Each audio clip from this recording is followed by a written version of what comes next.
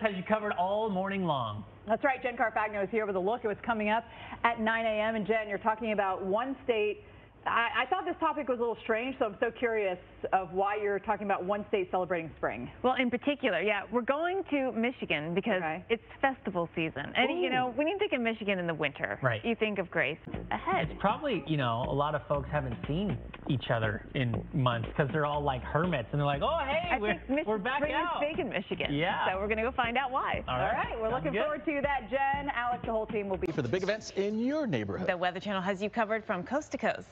Baseball season starts with some cancellations for games right along the East Coast, and the radar shows us why. Yeah, we thought this was going to be the case, right? There was at least going to be delays. Yeah. They decided to, you know what, let's not even mess with it. Just postpone yeah. and wait for better weather. Yes, and so opening day will happen on Friday for a couple of cities that expected to today. And you can see the rain in the east here. I mean, that's the reason why there's no end to it. Yeah, it's kind of stuck. I mean, right, this is the front that a couple days ago yeah. was actually not farther away from where it is right mm-hmm. now. And it's just hanging out, and that's trouble. That can bring a lot of rain and flooding. We've got a lot of colors pasted on this map as well. We're going to break these all down. You've got some spots with freeze concerns, spots with fire concerns, spots with snow concerns and of course the rains that we have it all. Lots and lots and lots to talk about. Well, yeah. despite the dreary skies, Mother Nature be in time for tomorrow's home openers that were moved and pushed to tomorrow. So first starting in New York City where we've got rain all day today. So it's a good move to get the game out of here. We've got temperatures hovering right around 50. I mean, it's not going to be the coldest of days, but it's not going to be warm either. Kind of raw out there with rain continuing. We don't necessarily need the rain, quite a surplus. In fact, March has been one of our top five wettest for a number of cities here along the East Coast. I mean, look at the rainfall that we've had. More than eight inches in New York City. Um, the month is not even over yet here, and we've more than doubled what you typically would get. Philadelphia, we had one of our wettest March days on record already this month, and there's more rain to come. And so flood watches um, are up in a few spots here. We got rainfall in the order of one to two inches, especially for southern New England. It might be a little bit heavier up there. Very persistent feed of moisture. It's a tap right straight from the Gulf of Mexico, actually, that's kind of pointed right at this area. It's a steady rain for you around D.C. and New York City. You can see out here toward Virginia Beach and Norfolk and the Hampton Roads area, we've got some heavier rain. Now, a lot of this is just offshore, literally just offshore. And so um, you, I know you see the radar and you see these bright yellows, and thankfully, we're not getting the worst of the weather everywhere on ground right now, but we are seeing some of that potential out there. In Boston, it's a steady rain for you this morning. Jumping down to New Jersey, look at all this rain tracking up from Cape May to Atlantic City, heading up towards Rumson in New Jersey. You've got heavy rainfall. And then eastern North Carolina, this is one of the spots where we're seeing kind of the steadiest rain at the moment. Heavy downpours continuing. And this is where the flood watches are up around Norfolk, Elizabeth City, down towards Morehead City. We've got that concern for too much rain causing problems. Now, the showers today could play a role coming in this weekend into Colorado eventually. First stop is going to be in the Sierra, as Alex talked about there. Some ski resorts there are also extending their season. This uh, Easter weekend is actually on the early side. Easter could be as early as March 22nd or as late as the end of April, I believe the 25th or, or 28th. So we're on the early side, which means, yes, skiing is an option if you're maybe getting the family together and doing something perhaps in the west. But we do have some rain to talk about here as well. Big trough over the west is going to be affecting your weekend plans. Sunday's forecast, snow across Nevada, parts of Utah, especially when you go up in elevation. Same thing in Colorado is going to be mainly elevation. But as we watch the pattern set up, we'll see our surface low. We're going to watch along this warm front for maybe a few showers, perhaps a few thunderstorms later in the day here on Sunday into northern Illinois, Indiana, maybe even Ohio. In the warm sector south of that, it actually shaping up to be a very nice Easter Sunday. Got a lot of warmth. Temperatures going to be warming up very quickly into the 70s, even the 80s. Southwest, not quite the same, but we've got temperatures are going to stay stuck in the low 60s, like in Los Angeles, 60 with rain. Into um, Phoenix, we've got 63 with rain. Rapid City, 38 with snow, so not the best Easter Sunday forecast there. But we will be looking at some good weather, um, even in St. Louis, where 80 degrees is the forecast. Before we get in some clouds thickening, you'll see that in Kansas City too. The clouds do increase. Likely though, um, at Kauffman Stadium, we'll be able to get the game in 110 uh, first pitch and no rain in the forecast here. Would be later into the evening if we get that rain. But let's let's talk more about those chances of storm. Hey, what is your ideal baseball weather? Chase says my very specific. I like it too. Well, all you have to do is hit the threads. Uh, you can share your comments. Let us know uh, what you're feeling. There are so many different types of eclipses. In April, we'll witness a total solar eclipse, the first to come over the U.S. since August of 2017. And before that, you have to go back to 1979. It's been a minute. Or can be a minute, it right? It can be a minute, right. Meteorologist Paul Goodloe details these rare and wonderful celestial events presented by Bristol Myers Squibb. Right, because we got a bunch of years until the next one. So um, over the U.S. anyway. There's eclipses every year. It's just that so many times are over the ocean that you know when nobody sees it. Exactly. Yeah. So yes, indeed, you got to catch it if you can. Uh, and you can see there's the path of totality that extends from south portions of Texas all the way up into New England. And so there's a wide area that is going to be involved in at least that path of totality. Mm -hmm. But there will be able you'll be able to see at least a partial eclipse, yeah. even well outside of that. Yeah, all of North America will see at least a partial. But there is something special about that path of totality. That's really where you get the show. So, of course, cloud cover is going to make all the difference. You know, we've been showing you cloud cover climatology because really, you know, up until you get within uh, even a couple of days, it's hard to know cloud specifically. So, in general, you'd think you'd have a better shot over Texas and Arkansas compared to the Northeast. But this year, I mean, well, it depends on the weather pattern. Yeah, I mean, it's so hard. I mean, think about it. We always talk about, okay, the chances for the rain. It's hard to, can we pinpoint where clouds are going to, I mean, that is right. just, it's really an, impossible task to take. But again, right now, the forecast is calling for Monday for at least the chance for some shower activity kind of in that uh, range here across the Midwest and down to portions of the Gulf Coast.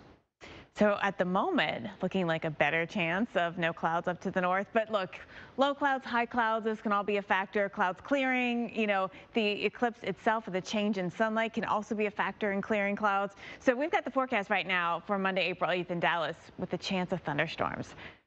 How frustrating is that forecast? That is frustrating because, I mean, at that point, I mean, clouds could come at any point, right? With the hit and miss right. showers and thunderstorms. You just hope that they just miss. I mean, there, I mean, how many days have we been out there in the sun and you're like, oh, there's a big cloud coming overhead. Yeah moves over the sun, and then moves away. And so if that happens when the, the eclipse and it, it would have to good. stay there for three minutes and 41 seconds. That's the amount of time of totality in Dallas. It'll it'll vary depending on where you are.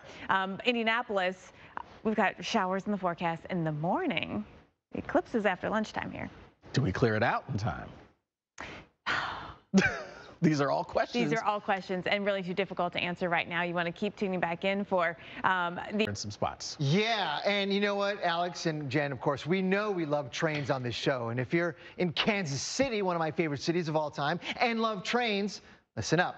Kansas City Northern Miniature Railroad is hosting a special Easter train this weekend. That sounds fun. You can ride yeah. the rails this Saturday with special conductor, the Easter Bunny. It will be the perfect way to celebrate the holiday early. Sunday looks to be a little wet and soggy. You got to look at that forecast for you overall, considering Easter's a little on the early side this mm-hmm. year, we are going to be looking, I think, at some pretty warm temperatures. There's a, a, couple exceptions. Yeah, not so bad. I mean, if you look in the bigger picture, we're not dealing with a ton of rain in a whole lot of places. Yes, we have our spots, parts of the Ohio Valley and the West, but overall, Jen, not a bad Easter Sunday, or Saturday actually leading right. up to it. I mean, Saturday, a lot of upper 70s, low 80s across the uh, southern plains into the southeast. Northwest looks good. We're drying out. We're going to have sunshine coming back to Seattle. But all the action is going to be with our big trough across the west and the low pressure that forms here in the lee side of it. Yeah, this is an interesting day on Sunday in terms of severe weather chances. The Storm Prediction Center did say perhaps right along this warm front, we could get some thunderstorms maybe at night. Uh, but also, while not shown here not outlined explicitly by SPC, we may see some farther out in the plains near that area of low pressure. We'll talk about that a little bit more at 50 past the hour. Yeah, there's going to be a lot of warmth out there. I mean, yeah. this is your forecast on Sunday temperature-wise. A lot of 70s and 80s all across the deep south here. Mm -hmm. Maybe in a few 90s in West Texas. Florida, you're going to be in the 70s and 80s. And look, Florida was so hot and humid, actually kind of sticky yesterday. It'll be a much nicer kind of 80 plus temperature. And you can see that. That warmth in the southeast is associated with also the cold and snow in the west. The trough west, ridge east pattern is shaping up mm -hmm. for us on Sunday, heavy snow at the higher elevations. Yeah, and so with this with this trough across the west, it's going to mean temperatures on the cooler side. Phoenix, mm -hmm. example, 63 degrees. Los Angeles, Easter Sunday brings rain. You might have been thinking about having your Easter dinner outside. Oh, I don't know that I'd plan on that. Have an option. Yeah, and we also have some showers and thunderstorms later on Sunday across parts of the Midwest, including, hey, maybe on Kansas City as well hailing the return of warmer weather, longer days, and spring flowers. Now, the Great Lakes State will be swimming in the festivals as we swing into spring. Now, earlier we spoke to Kelly Wagamat with Travel Michigan to, to learn a bit more about the fun on the horizon. I know. I'm down for the carnival too. Now, beyond the blooms, you know, Michigan is home to several dark sky festivals. And of course, we got the eclipse on the way, so there's got to be a, a, lot of interest in astronomy related events. Why should stargazers consider a trip to the Upper Peninsula? Oh my gosh. Wonderful. Uh, you know, we love our music on this show, and Detroit has a festival dedicated to the tunes. So tell us about the Movement Festival. Yes, so everyone. All right, good stuff. Well, thanks so much, Kelly Wagamat there with Travel Michigan for joining us there. Now, next hour, we're going to take a look at even more festivals happening this weekend across the nation. You know, sadly, Groundhog Day is over, but, and we're asking you, what is your ideal baseball weather? Ah, well, Steve, I don't care what else is happening. But what if I'm it's, good. What if it's chilly? Wouldn't you rather be in the sun? No. No. Take a jacket. You'll be all right. Absolutely. Tough love from it, Alex. It, Take a jacket. It takes care of almost everything. You're in the shade. If it happens to rain, you get a little break from that. If it's too to be in the shade. So everywhere I go, I always have like a big tote bag with all my jackets. I, I do always have jacket, and you never know what kind of jacket you're going to need. But it's tough because you can't bring like these bags into that the stadium. That is True. And... That is true. So you just got to wear it. Yeah. Well, you can go to Threads, wear all the jackets. Uh, go to Threads, send us your comments. You can share your pics and video with us using the hashtag YesTV. Groundhog Day? Hmm, this should be a contest. Phil Jr. would be the obvious. Then what's the other Phil one? Phyllis. Phil the first, Phil the second.